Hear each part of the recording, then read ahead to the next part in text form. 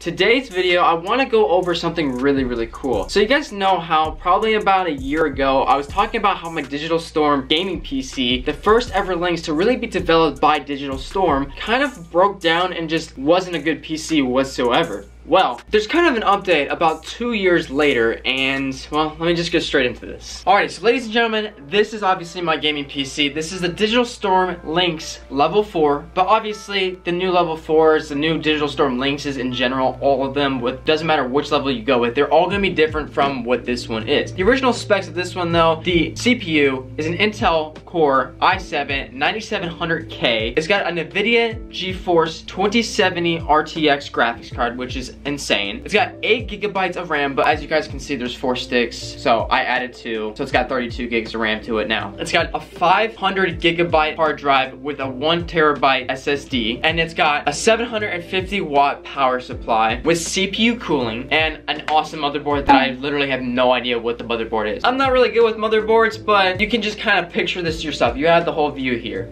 I honestly feel like I'm gonna have to move this out of the way, even though it's so pretty to look at.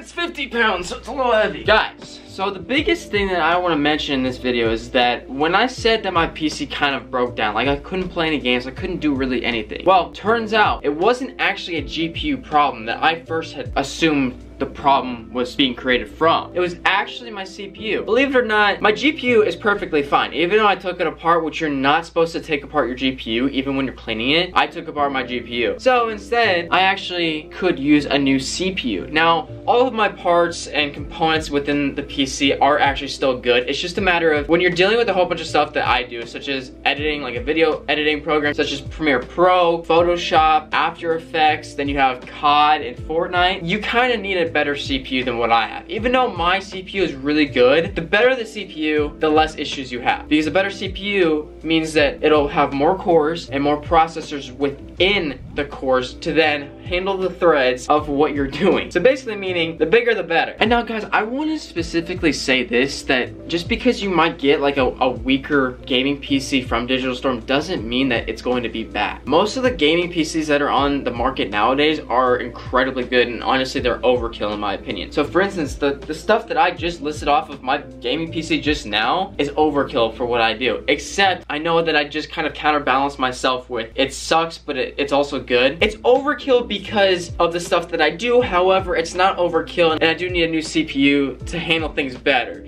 It's a complicated area that I'm not too sure if I really even understand myself. But again, the bigger the better. It doesn't always mean the more expensive the better. Because my PC, if I built it myself, I could have probably saved about $500. However, it was not cheap. It was over $2,000. Again, I could have gotten the same stuff, if not better stuff, for a lot cheaper. Now, before I forget, a lot of you might be thinking, how did you figure out that you need a new CPU? Well, Digital Storm has a really good customer service, but how I found out was basically how I use my PC on a daily basis. So if I'm using a game, so if I'm playing Call of Duty, it's a huge, huge game. I would run Call of Duty as well as YouTube or music or something in the background as well. Now, for these specs, that would do nothing. Like specs would be up here versus everything running would be down here. So it wouldn't be that much of an issue. However, after doing that consistently every single day since I got the PC, it does tend to ruin it a little bit. It's like basically an overclock, but not overclocking it. Now, if you guys want to do me a huge favor, after watching this whole video, let me know what you guys would like to see from me next. Whether it be something tech related,